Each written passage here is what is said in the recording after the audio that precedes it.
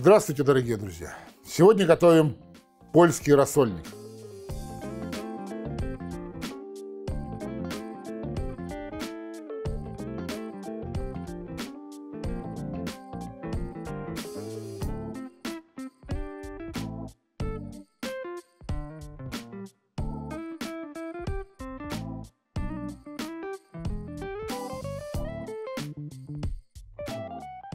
Польский рассольник мы готовим на домашней курице. Я заранее отварил в скороварке курицу. Она домашняя, мне ее мой друг, у него небольшое хозяйство, которое нас снабжает и перепелиными яйцами, и перепелами, и индюками, главными героями э, наших супов, и петухами. В общем, вчера он притащил совершенно свежую курицу, вот такую. И, а, она будет героем, э, героиней в двух выпусках «Генский ватерзой» и «Польский рассольник». Для этого я ее сварил просто с одной луковицей и чайной ложкой соли в скороварке. Вот она вся разваленная такая. Сейчас я ее буду потихонечку разбирать и готовить рассольник. Еще нам потребуются соленые огурцы с рассолом. Продаются в любом магазине. Сами смотрите, если у вас они есть свежие, свои собственные, соленые, настоящие, тогда, пожалуйста, используйте. Э, я этим делом пока не занимаюсь, поэтому у меня вот есть хорошие, довольно покупные. Ну как, неплохие вроде.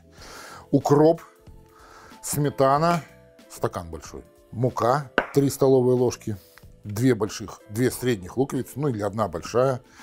Любой корень, который вам нравится. Можете даже э, пастернак, потом что еще, корень петрушки, корень сельдерея. Вот можете какой-нибудь корешок взять и положить. Вот эти один из трех. Репу не надо. А, морковь обязательно. Чеснок обязательно. Это же рассольник. Огурцы, кстати, с рассолом. Растительное масло и картошка. Пока все. Сейчас мы это потихонечку уберем будем, и будем э, закладывать все по очереди. Сейчас я вам все. Не переключайте канал, как говорится. Оставайтесь с нами. Сейчас мы сделаем вам красивую заставочку и продолжим.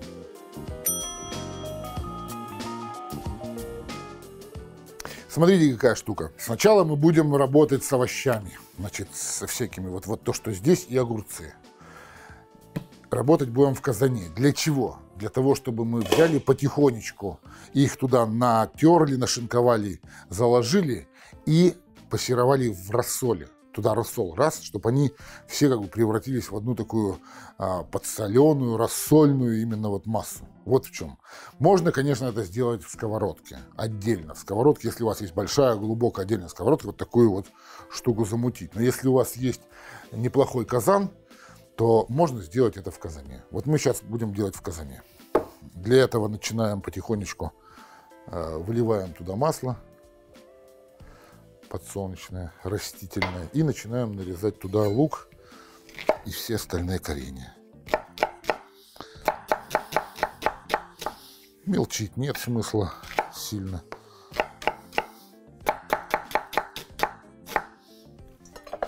Остальное на терочке натрем просто и все.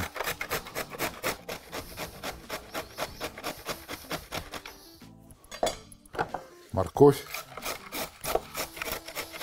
Моркови можно здесь, можно огромную морковину положить. Она будет очень хорошо в сливочном таком состоянии проявляться. Очень красиво будет и очень вкусно, естественно. Немножко сладковато. Она сладкая. Очень хорошая морковь должна быть большая. Так, и сюда. Раз. Все, выкладываем. Чеснок сразу же.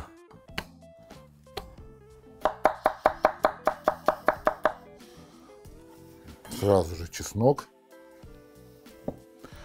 и укроп пеньки. Здесь у меня внизу совсем толстые какие-то пенечки. Я их не буду, а вот эти, которые повыше, я их бабахну, что называется. Пока я работаю с огурцами, я ставлю это все на огонь. Вперед. Вот смотрите, как только там все уже про, про как правильно прож, прожглось, прогрелась очень хорошо. Прям вот идет такой аромат, да. Пусть он еще постоит, вот как бы прокалите, сильно его прокалите. Я вам очень рекомендую это сделать. И когда это все уже ну, потребует, оно должно, вы должны почувствовать, что оно уже хочет, чтобы туда влага пошла. То есть там будет такой некий влажный вакуум, да? И вот когда вы это почувствуете, надо сделать вот так. Раз. И вылить туда рассол. Огурцы туда не надо выкидывать. Им еще рано. Сейчас мы их будем нарезать. Вот. Слышите? И теперь вот эти все овощи, да, будут тушиться в рассоле. Особый аромат будет у вас всего рассольника. Такая штука. Так. Дежапируем. Можно их через терку бабахнуть, а можно мелко нарезать. Можно их даже ошкурить, но я этого делать не буду. Я нарезаю тонко прямо, как можно тоньше. Все это дело.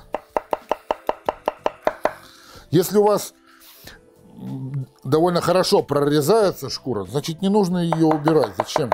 Если она, видите, как не сопротивляется, прямо мягкая. Сейчас будем, там еще остатки рассольчика остались, закладываем в казан. Вперед.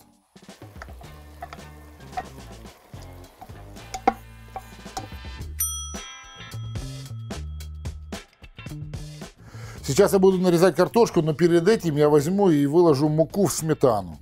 Так вот раз, аккуратненько, и перемешаю. Это такая заправочка, которая как раз, в общем, и отличает польский рассольник от каких-то наших э, других рассольников. То есть мы потихонечку, потихонечку ее вмешиваем, чтобы не было комков, чтобы она сильно не загустела. Если сейчас будет густеть, то можно немножко водички холодненькой налить. Ничего страшного. Или бульон холодный. Что-то что, -то, по вашему усмотрению.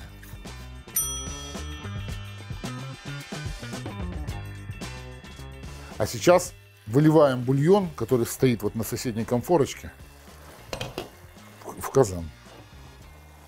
Полностью. Раз его туда. И все.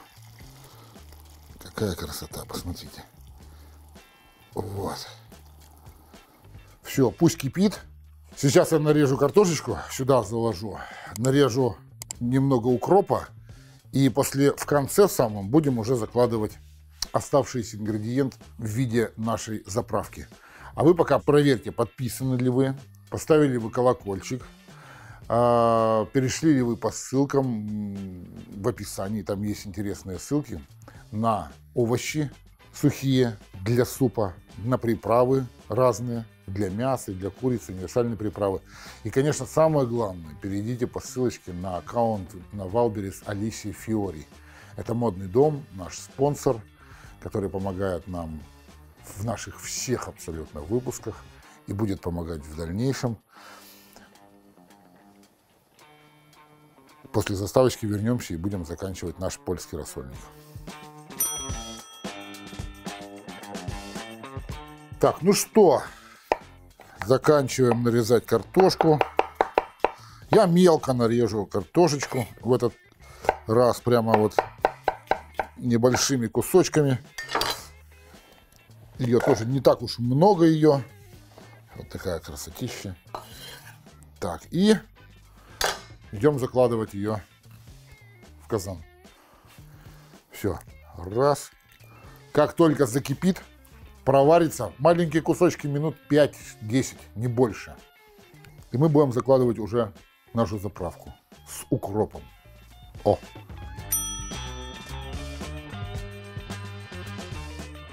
Вообще вместо укропа может быть любая зелень, которая вам нравится.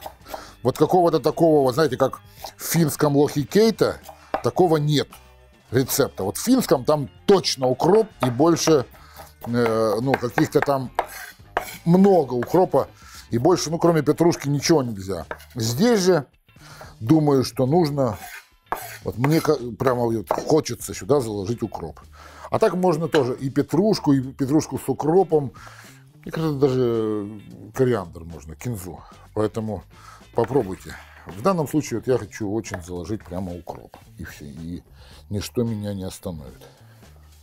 В конце концов, в соленые огурцы укроп идет. Правильно? Сочетается очень даже хорошо. Смотрите, я сейчас прямо так его... Его можно по отдельности, не обязательно его туда вмешивать. Можно заправку отдельно, а укроп отдельно. Не обязательно его туда вмешивать. Это я уж так, пока закипает, почучкаться хочу. Напомню, что я еще не солил, ничего не солил. Потому что соленые огурцы, рассол, он может быть разный.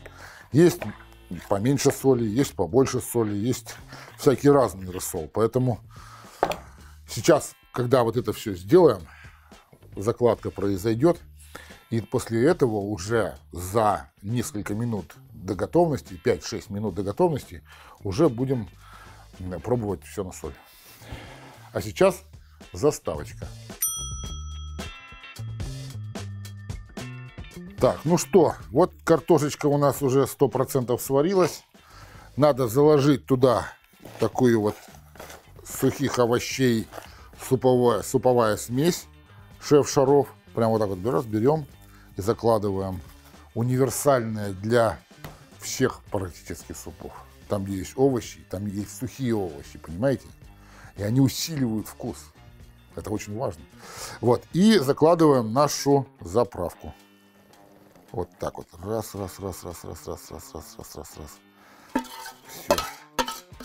А, у, ну вообще. Сейчас заставочку снимем, с ума сойти просто. После этого как раз надо будет перемешать, как только закипит, попробуем на соль, добавим соли и убавляем на самый мелкий огонь до тех пор, пока значит, сметана, овощи сухие, и все это не перемешается и не превратится в вот такую вот одну замечательную, красивую э, мука, придаст густоты обязательно нашему рассольнику. Что мы делаем с курицей? Смотрите, курица лежит. Если вы хотите на данном этапе, можете закладывать ее туда. Она все равно вареная в самую последнюю очередь закладываете курицу. Я буду делать, это делается в таких больших семьях, когда, ну так скажем, социальный статус э, не ого-го какой. Там, где более четкая подача, так скажем, ну, солидная, так скажем, ну, так как-то расфуфырено все, то можно взять кусочек и положить отдельно в тарелку. Вот так. То есть два вида подачи. Если хотите, чтобы там не передрались из-за куска, то тогда туда и все перемешайте. Чем мелче нарежете, тем лучше. А если, то надо каждому в тарелочку, особенно. Из какой-нибудь отдельной миски. Под носом уже прям положить вот так красиво. Видите? На ваше усмотрение, как хотите, так и делайте. Я сделаю по, вот по этому, по второму варианту.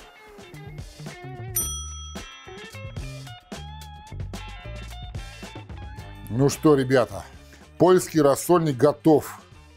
Я стою тут, конечно, хоть и не голодный, но все равно хочется еще царапнуть тарелочку. Что сейчас мы сделаем должны? Так. Чудесно. И курочку. Вот тут вот. Раз. Посмотрите. Пожалуйста, все. Польский рассольник готов. Сейчас буду пробовать.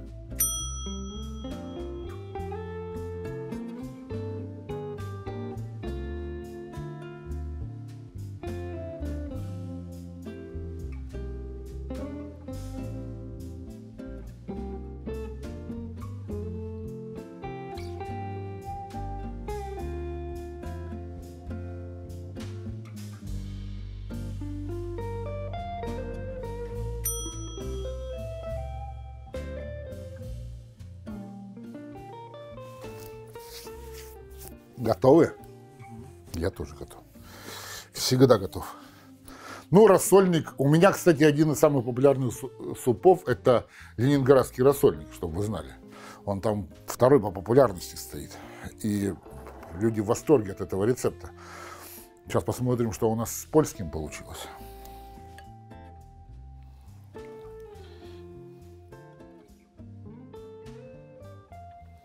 У, у, Ребята, это настоящий рассольник.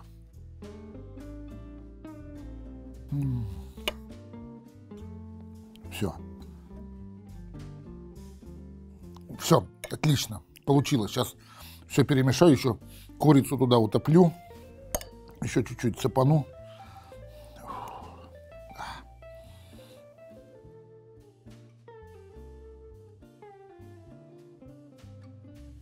Вот это вот чем отличается? Тем, что сметанная, кисловато соленая вот эта вот густота, она другая совершенно.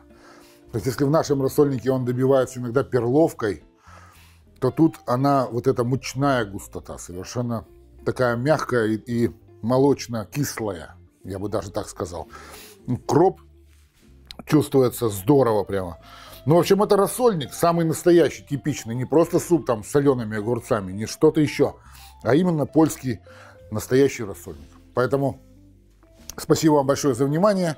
Смотрите другие рассольники. Есть рассольник с почками, есть, как я уже сказал, ленинградский рассольник. Есть даже суп с соленых огурцов и свеклой. Ну и, естественно, готовьте по этому рецепту. Переходите по ссылке на аккаунт Алисия Фьорин Валберис, Ля Моду, Яндекс Маркет, они внизу в описании.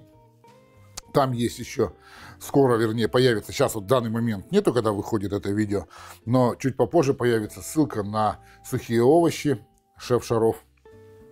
Всего вам хорошего, держитесь, до приятного. Пока.